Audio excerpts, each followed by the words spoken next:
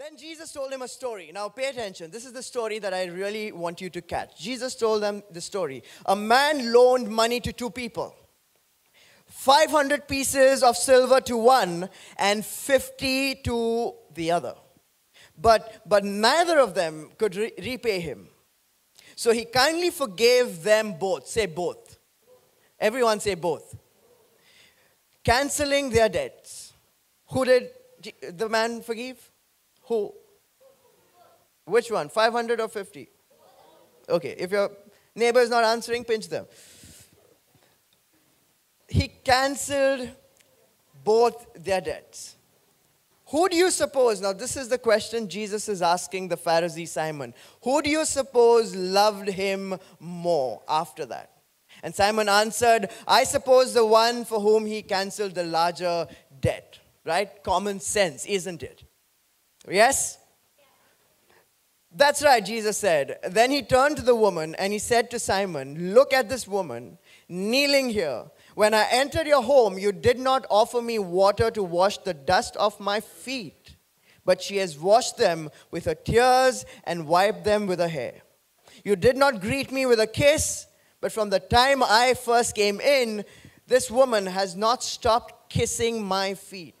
You neglected the courtesy of olive oil to anoint my head, but she has anointed my feet with rare perfume. If you're wondering about olive oil and head, don't worry. Old Testament stuff, okay? Don't, don't be worried about that. Don't go buy olive oil and try to put it on your hair. You'll not look good, uh, even if you have hair. But um, then he said, I tell you, her sins, and they are many, have been forgiven. So she has shown me much love. But a person who is forgiven little shows only little love. And Jesus said to the woman, Your sins are forgiven. The men sitting at the table said among themselves, These are all the other Pharisees who were at the table. There were more Pharisees invited to the dinner, and they were, were chatting among themselves. They said, Who is this man that goes around forgiving sins? And Jesus said to the woman, not to the Pharisees, but to the woman, Your faith has saved you. Say, saved you. Say that again, saved you. Your faith has saved you. Go in peace. Go in peace. Week three of the sermon series, Choose, and I want to talk to you about something important, but I need your help. All right? Are you willing to help your pastor? Five people. What about the rest? You hate me. Okay. Your help will be responding, okay? Respond. Uh, uh, let me know if it makes sense. Let me know if it does not make sense. Only please don't throw a shoe at me, okay? If you're pissed off with me, all right? Will you do that? Yeah, can this be a, a, in a live crowd? Will you help me out? Okay, much better. I like to preach uh, to people who, who like smile or, or say something good. Otherwise, I don't know if this is making sense or you're hating me in your mind. You're like, uh, I don't know because your faces look like a bad word. Uh, but, anyways.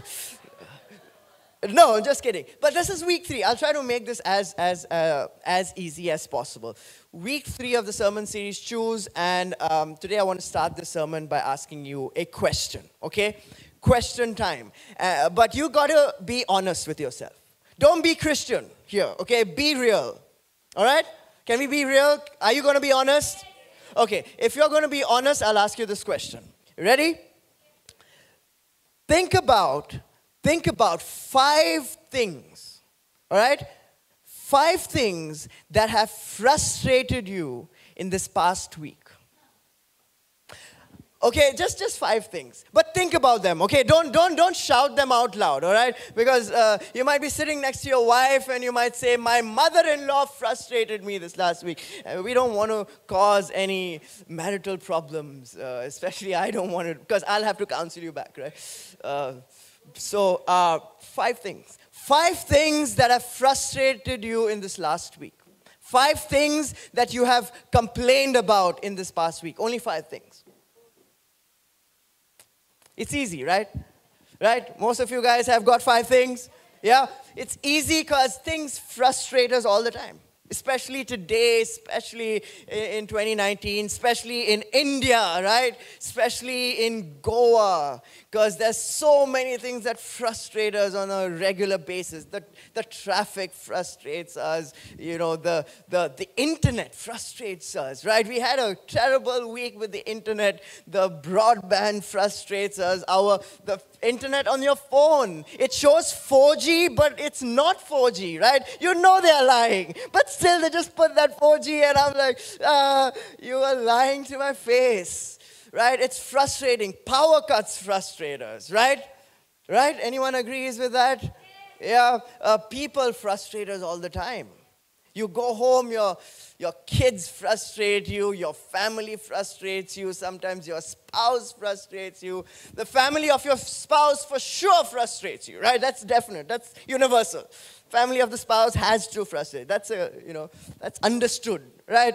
Right? Some of you agreeing, some of you scared to agree, but we get frustrated. There are things that frustrate us all the time. You go home, you look yourself in the mirror, your weight frustrates you, your hair frustrates you, pimple frustrates you, right? Everything frustrates us today. It's easy to be frustrated today. You agree? If you agree, let me ask you another question now, all right? Another question. Again, just like you thought about five things that frustrated you last week, think about five things that you were grateful for in the past week.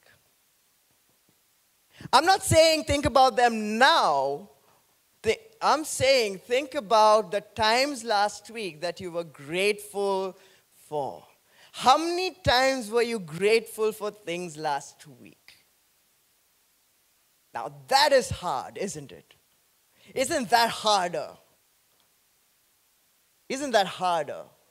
Don't you agree with me? If you're really honest with yourself, if you really think about it, you will agree that, that, that being frustrated is far more easy than being grateful, right?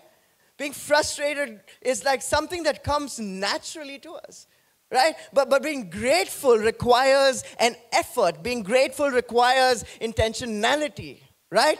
Anyone agrees with me? And, and let, me, let me tell you this, okay? It's not just today. It's not just today's generation, today's world, 2019, because uh, most of us say, oh my God, 2019, what has the world come to? Everything is so frustrating, right? It's not just today. People have been complaining all throughout history. Every generation, I don't think there's a single generation in, uh, in history that had not been frustrated. People always complained.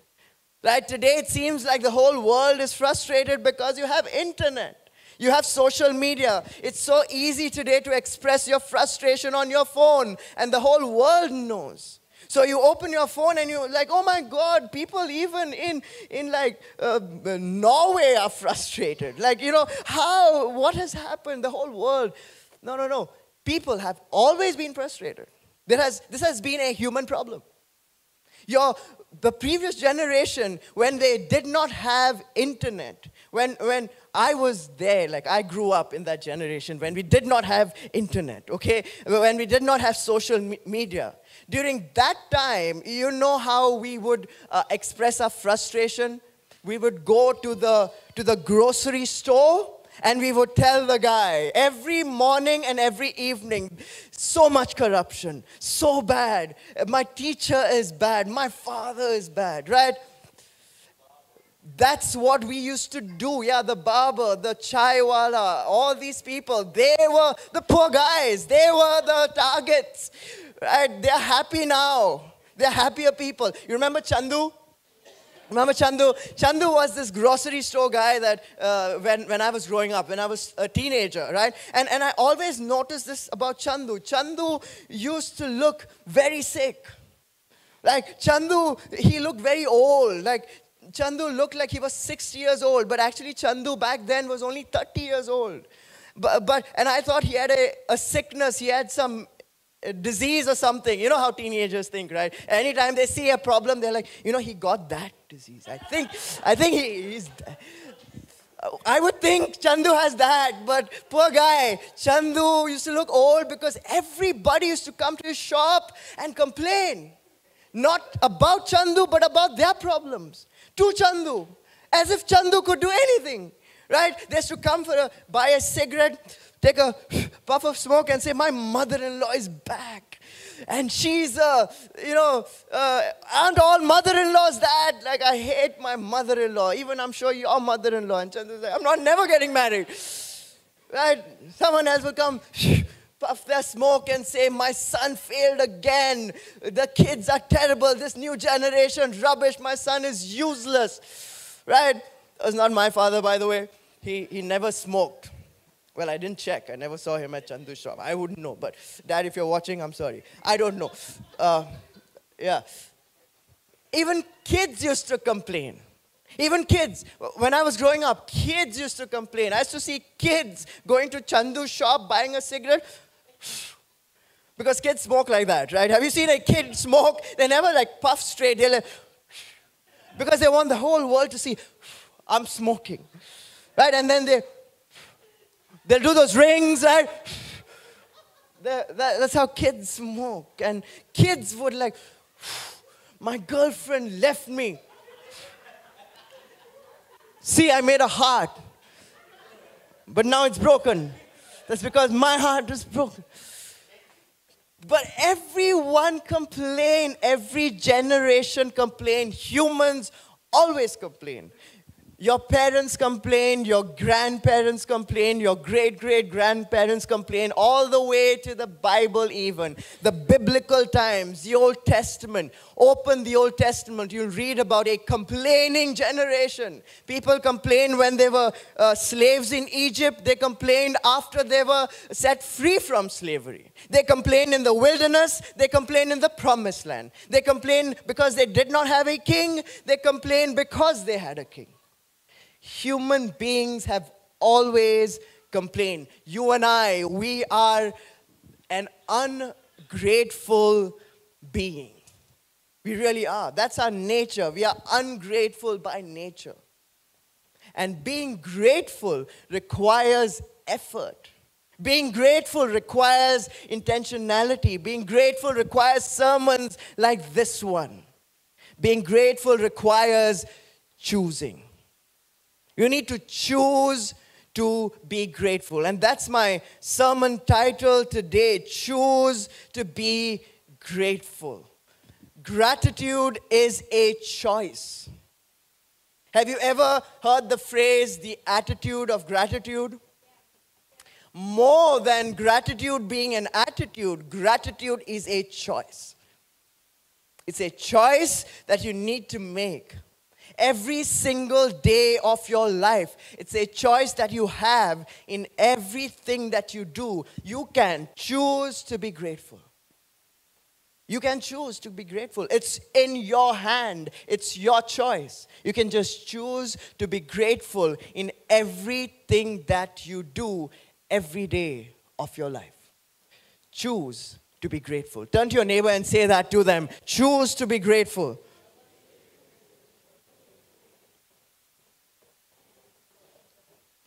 Turn to the other neighbor. Don't leave them alone. Don't leave them frustrated. Long distance neighbors. Choose to be grateful. You'll have every reason in your life, you'll have every reason to be, to be frustrated. You'll have a good reason to be frustrated every single day right? Just like this woman that we read about right? In the in the story we read about this woman. I think her name was mary because uh, the other gospels give her name to us. Her name was mary and mary had every reason to be frustrated. She had good reasons to be frustrated. The, the, the bible calls her an immoral woman. Bible scholars believe that she was a prostitute she was a prostitute. Mary, this, this, this lady in the, in, the, in the story that we just read, she was a prostitute. Mary was in the line of work where she had to sell her body every day to unknown men. And sometimes even worse, to known men. Tell me about a job that's more frustrating than that one. That's a frustrating job. Mary had every reason to be frustrated.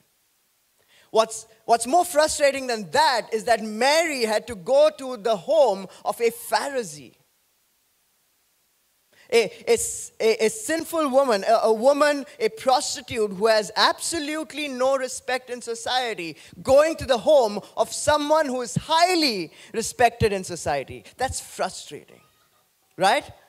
Uh, and, and to make matters worse for Mary, Pharisees were, were known to judge people.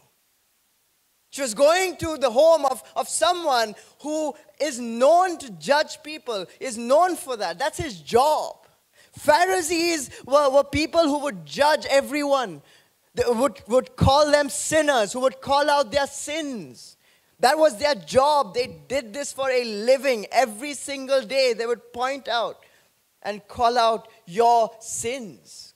Say why you are bad or what you are wearing is bad. Just to give you modern day perspective, if, if I had to invite a Pharisee here at Limitless Church today for service, this Pharisee would be going around the room looking at everyone like that and, and looking at you and saying, That skirt is too short. Like you're showing legs in church. What is your intention in showing your legs? You're a sinner. Right? Tattoo Tattoos are evil. Piercings are demonic. Black is the color, oh my God, red also, the color of the devil. Ah, right, right. Navel, you're showing your navel in church. Oh my God, navel. That's that's seductive, right? Have you ever met people like that? I meet people like that all the time. And, and what, what really cracks me up completely is people who, who think navel, showing your navel is seductive. Like I, that is when I, I cannot handle. Like how can a navel be a seductive thing? That's the most unseductive part. It's like a nose. It's like a ear. It's just the navel, right? I mean, and we, and this is Goa. In, Konkani, we call it Bomli isn't it? How can, how can Bomli be seductive? Like, there's no way a word called Bomli can be seductive. But, but according to a Pharisee, Bomli is seductive. If you're showing your Bomli in church, you are seducing people. That is who a Pharisee is. And those were people who were in that house that day right? Can you imagine the people Mary had to face getting into that house? Have you ever thought about the story through the eyes of Mary? Can you imagine the scene that Mary had to face getting into that house? Mary had to face all these men, all these Pharisees looking at her with judgment in their eyes, with, with, with disgust on their faces, judging her for the way she was dressed judging her for who she was, judging her for what she did. Every step that she took, they were judging her as she walked into that. Can you imagine how frustrating it would have been for Mary? Probably more frustrating than the people that you face. Probably more frustrating than the situations that you face in your daily life. Probably more frustrating than your mother in law, than your boss, then your girlfriend, ex girlfriend, hoping that you don't get frustrated with your current girlfriend. In that moment, in that day, married, Mary had a choice to make. She had a choice to make to either be frustrated with her haters or be grateful. Not to her haters, but to Jesus. In that moment, on that day, walking into that house, showing her navel or whatever, piercings and all of that, as a prostitute walking into that house, into the house of a highly respected man who was known to judge people and his friends, Mary had a choice. She had a choice to choose one of two things frustration or gratitude. And she could only choose one frustration or gratitude. Either be frustrated by the Pharisees or be grateful to Jesus. Either be frustrated by her haters or be grateful to her Savior. That was the choice that Mary had. And Mary chose to be grateful. She ignored all her haters, and her focus and her, her gaze was on Jesus. And she chose in that moment to be grateful to my Savior, grateful to Jesus. She chose to be grateful. What do you choose in moments like those? In, in, when you face frustrating people, when you face frustrating situations, what do you choose? You choose to be frustrated or do you choose to be grateful? Some of us don't even know it's a choice, right? Some of us don't even know, is that a choice? Because some of us just get frustrated, isn't it? If I, if I come to you at any time when you're looking frustrated, if I, if I come to you and I ask you, why are you so frustrated? You are going to point your finger to, to your haters, point your finger to all those people, all those situations, and you're going to say to me, it's because of them. They are frustrating me. My kids are frustrating me. My parents are frustrating me. My ex is frustrating me. My mother in law is frustrating me. But the reality is, they are not frustrating you. You have chosen to be frustrated by them. Because being frustrated is a choice. It's a choice. But here's the good news you have another choice. You have a choice to be grateful.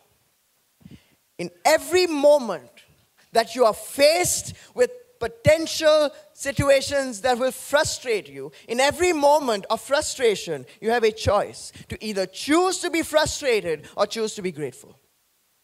Gratefulness will always be a choice when you're faced with frustration. What will you choose?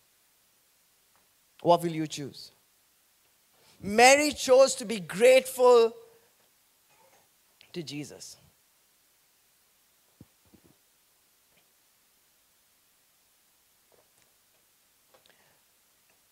I want to tell you how big this choice is because I want to dig this deep. I want to make sure you get this. This is the part I want you to catch. Imagine now, think about it. If Mary, in that moment when she walked into the house, faced by all these people who were judging her, all these Pharisees, if Mary had to choose to be frustrated instead of choosing to be grateful, if Mary would choose frustration over gratitude, Mary would have missed her salvation.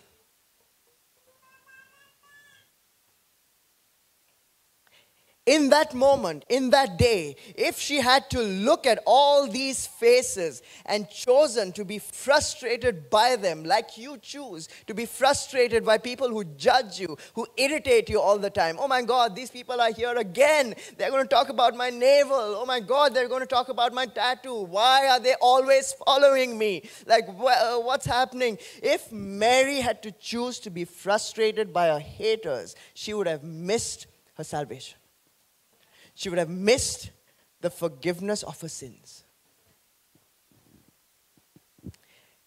Every, every time, I'm going to say something that might frustrate you. Every time that you choose to be frustrated, you have missed an opportunity of an encounter with Jesus.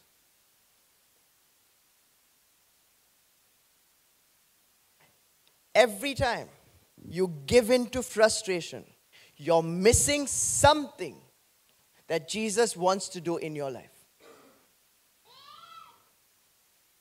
I asked you about five things, right? I asked you to think about five things that have frustrated you last week.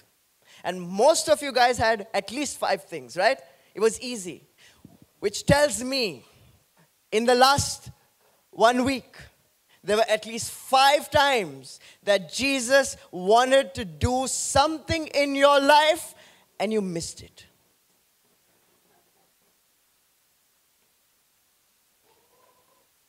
Maybe a missed miracle.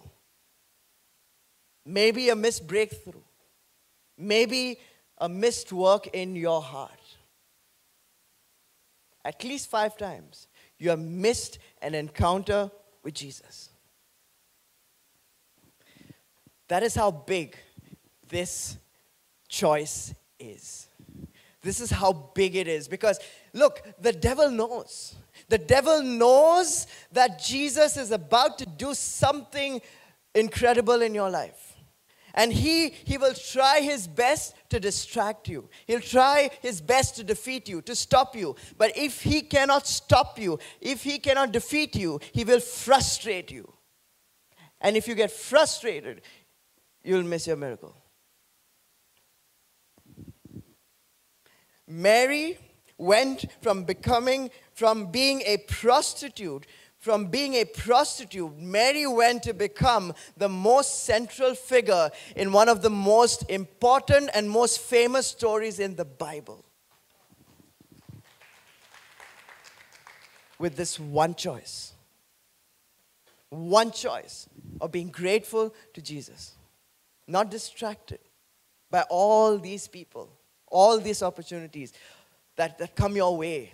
She chose to focus and she said, You know what? I don't care. I'll try to find Jesus among these faces and I'm going to go and show my gratitude to Jesus. This is how big this choice really is. Amen? Isn't this a big choice? Anyone, anyone grateful for Jesus now? You know why we why we are not very grateful people. Let me let me disclose that to you, okay? Because it's difficult, right? It's difficult to choose this uh, choice, being grateful. It is difficult. When you're faced with, with sucky situations, when you're faced with all these irritating people in your life, it's very difficult to choose this. And we naturally get frustrated. But let me tell you why we usually get frustrated so easily. You want to know why? I'm waiting for uh, one person said why. Everyone is like, no, no, I leave me alone. I love being frustrated. Like this is who I am. I'm a frustrated person, and I love that. I love. I'm Mr. F. Like I, I like to F people, and I, I, I like to be F by people, right? Frustrated, I mean, by people.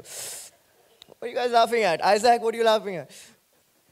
What are you learning in school? Uh, just kidding. Frustration. Let me tell you why. Okay, let me tell you why. Jesus, uh, Jesus told a story, a parable. In this story that we read, he, he, he, he talked about a parable. And that is one of the most important teachings of Jesus Christ, which, which we've missed or we misunderstood. But I, I want to explain, I want to unwrap that. This is the meat of this sermon. Uh, it's, it's in, um, I'm just going to read those two verses. It's a very short parable. Verse 41 to 42. Here it is. And Jesus told him the story. A man loaned money to two people 500 pieces of silver to one and 50 to the other. But neither of them could repay him. So he kindly forgave them both. Does it say that? Yes? He forgave both of them? Yeah, he forgave them both, canceling their debts. Who do you suppose loved him more after that? And Simon answered, I suppose the one whom he has cancelled the larger debt. And Jesus said, That is right. And then he goes on to, to, to compare what Simon did not do versus what Mary did, right? And towards the end, verse 47, he says, I tell you this, her sins, and there are many, have been forgiven. So she has shown me much love. But a person who is forgiven little only shows little love. When you read this story, when you read this, this, this parable of Jesus, most of us think, and maybe this is something that you've learned in your Sunday school, right? Maybe this is something that have been taught to you, uh, you know, Sunday school teachers. But uh, most of us think that Jesus is comparing two people, Simon and Mary. Most of us think that Jesus is saying that Simon uh, had committed fewer sins and Mary had committed many sins. Right? And because Simon committed few sins, he was forgiven little. And because Mary had committed more sins, she was forgiven more.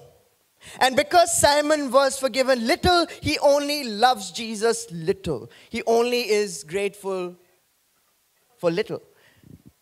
But Mary, because she was forgiven a lot, she is grateful a lot. Right? This is what we think Jesus is saying.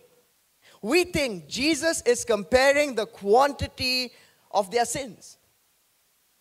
And that's the problem. That is the problem. That is why we don't understand gratitude. That's why we are frustrated. Jesus never compares quantity of sins. He doesn't compare how many sins you have committed versus how many sins she has committed. Jesus never compares the quantity of sin. Sin is sin. To Jesus, sin is sin. No matter if you've sinned one sin in your whole life or you've sinned a million sins in your whole life, sin is sin. Jesus does not compare the quantity of your sin, Jesus compares the awareness of your sin.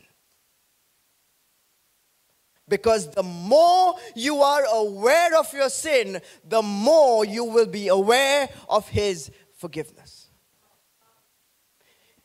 It's never about how good you are compared to another person. It's about how bad you are compared to the goodness of God.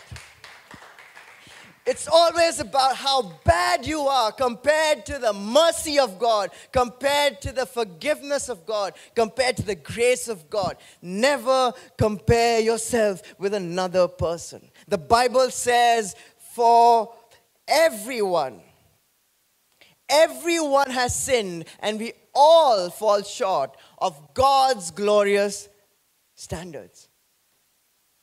The problem is, we think it's our standard, it is the pastor's standard. Right? So you, you look at your pastor and you say, oh, he, he does not drink alcohol, so uh, I uh, drink only one glass a week. Uh, uh, so I, am cl- I'm, I'm close, I'm, I'm good. Uh, but that guy, he's drunk every day, right? So compared to that guy, I'm good, right? I'm, I'm gooder. So, so we, that is how we think. We compare ourselves with people around us. God compares us with Jesus. Compared to Jesus, we all sinners. We all the same level, including me. I, I'm, I'm there. You have a sinner pastor. I'm sorry, but that's what you got. We all the same. We are in the same boat. We all miserable human beings compared to the level of Jesus Christ. Unless you understand that, you won't understand gratitude we skip the part and we say we are sinners saved by grace, right? And we say it so fast that we skip the word sinners. We've become a generation that just goes, we are, we are saved by grace. We are saved by grace. The sinner word does not come out. It is important. Unless you understand that, you won't understand gratitude. You will be a frustrated being. If you compare yourself with other human beings, you'll always be fr- frustrated. Let me tell you why. Let me tell you why. Because you think that you deserve something. You know what frustration is? Really? Frustration is, is when you thought you deserved something and you didn't get it. Right? If you're a person who thinks it's because of your good things that makes you gooder, or loved by God or a better person because of your good things that you do, you deserve something from God, you will go to God and you say, God, I deserve a, a better day. I deserve a better life. I deserve a better job. I deserve a better husband, a better wife, a better girlfriend, a better boyfriend. I deserve better than this. And because you're not giving me what I deserve, I am now frustrated. Because I deserve better. That is why we get frustrated. Because we compare ourselves to others. And if we find that we are better than another group, then we suddenly believe in our minds that now we deserve. And when you don't get what you think you deserve, you get frustrated. You get frustrated. Let me let me let me tell you something that will if you take this seriously, you'll you'll at least not choose to be frustrated. If you think about this every day, you won't be a frustrated person. And this is not something that pastors usually say from the pulpit, but I'll still take a risk and say this. Can I, can I be a risky pastor? You do not deserve anything. You don't deserve anything from God. Nothing at all. Not even your life. You don't even deserve to be born. You don't. Because you haven't done anything to be born, right? You have not done anything to create yourself. You don't deserve to be born. You just one day opened your eyes and you realize, oh my God, what is this? This is life. What are these cute people? I just say what they tell me to say. And then you, you jumped into life. You did not even deserve to be born. Your life is a gift from God. And the only fair response of human beings to this gift called life and to this God who is amazing, who created us, the only thing that is fair that you say to Him is gratitude. Is thank you, God. Thank you, Jesus. The only fair thing to do really is to be grateful. That's the only fair thing that human beings can respond to God. Anyone grateful for the life that you have? Anyone grateful that you are alive today? That you are one of those uh, sperms? Is it sperms that made it? Right? You're one of those those beings that were created of a million that were not. You have a gift called life. And the only response to the creator of your life, to the giver of your life, is gratefulness. the reason why I keep on uh, repeating every sermon, I, every sermon that, that I preach, I, I always uh, mention the, the work of Jesus on the cross, right? The, the, the gospel message. Jesus died for our sins. The reason why I do that is not because I need more content in my sermons. My sermons are long, anyways, right? My, my, my, my team, they cut my sermons, they try to edit them, they tell me every week, it's too long right? Some of you guys are also feeling it's too long, right? You feel my sermon should be shorter? Yeah, no. All you guys, other people are like, yeah, yeah, yeah. How long do you watch Netflix? A week, right? But the reason why I say this every week about Jesus Christ, the salvation message, is because we human beings, we need reminders. Every day, in fact. I try to do it once a week. We need to remind ourselves that we don't deserve anything. So let me remind you again. All right, and I'll, and I'll do this in closing. I'll close with this. So let me give you this reminder that, that you need every week. In fact, every day of your life. You ready? You ready? We suck. Reminder. We suck. Human beings we suck. We are terrible beings. We suck at this thing called life. We are incapable of living life. We're so bad in everything that we do. Either we pretend to be good and we look like hypocrites, or we're just bad and we accept it and we love being bad. It's either one of those two things. We are bad people. The human race is bad. And the only thing that we really deserve as human beings is death. The whole human race was walking towards hell, walking towards eternal destruction. We had no hope. We could not save ourselves. Not even one person could save themselves. That's why God decided to do that Himself. So God sent His Son, which is God Himself, now in human form. God came down, took your, your body, like our flesh and blood, and He became human and He lived a human life. And he lived a sinless life, not one sin.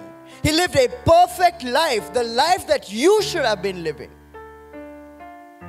The life that you need to be living if you want to make it till eternity. He lived your life. He lived in your place. Because you could not do it, He did it for you. And then He died for you. And then he died in your place. He went to the cross and he, he took all your punishment for your sins. He took all the sins upon himself and he died on that cross. But he died in your place. And because he died in your place, now you can live in his place. Because Jesus died in your place, took your punishments, you get to live in His place. Because of the death of Jesus on that cross, you have eternal life. You have limitless life. Do you realize you will never stop existing? Because of Jesus, you will never stop existing. Yes, you will stop existing in this human body on this earth, but your existence will never end. You are limitless. You are limitless. You are eternal because of Jesus Christ and his death on the cross. So, what's your response to Jesus? Is your response frustration or your, is your response gratitude? What do you choose in response to that every day of your life? Do you choose to be frustrated or do you choose to be grateful? What do you choose?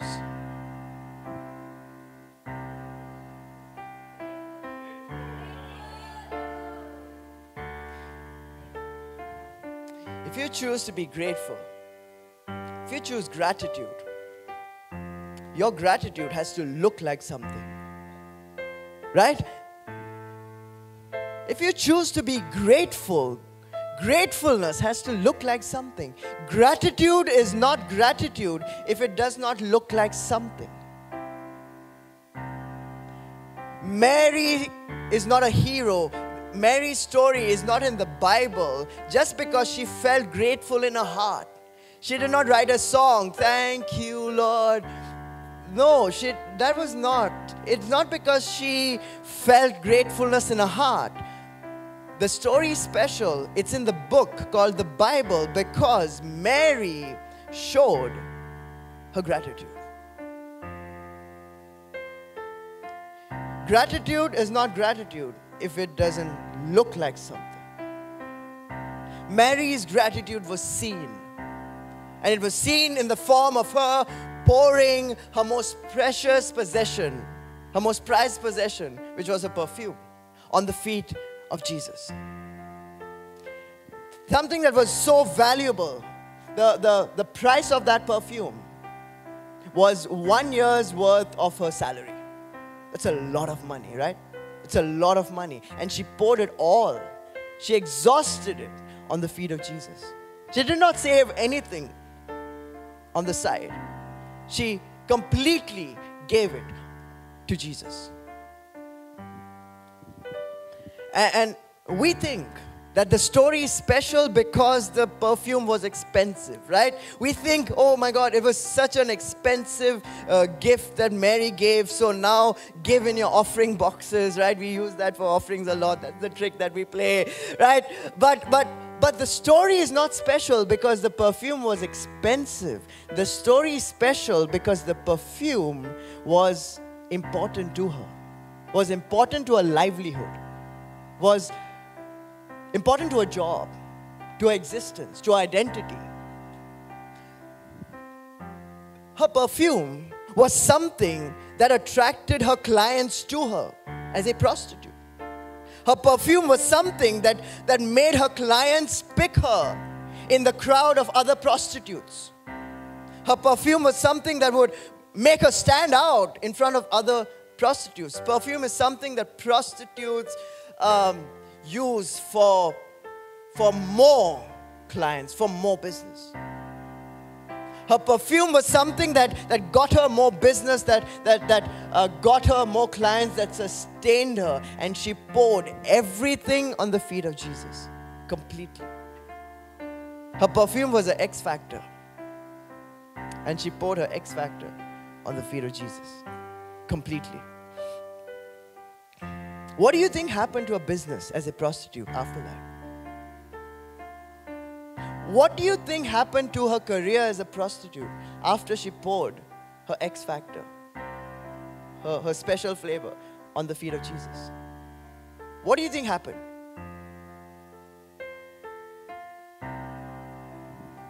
What happened to her career as a prostitute after that? Her career was finished, right? Mary was not a prostitute anymore. In a, in a moment of gratitude, Mary went from being a prostitute to a hero of sermons like these, preached all over the world in different churches, all throughout history, in a moment of gratefulness, in a moment of gratitude. What moral policing could not do, what, what moral behavior correction could not do, what self help books could not do, what counseling could not do, what prayers could not do, what touching people and falling down could not do. Gratitude did it. In a moment of gratitude, Mary was set free from the chains of prostitution for all eternity. That is the power of gratitude.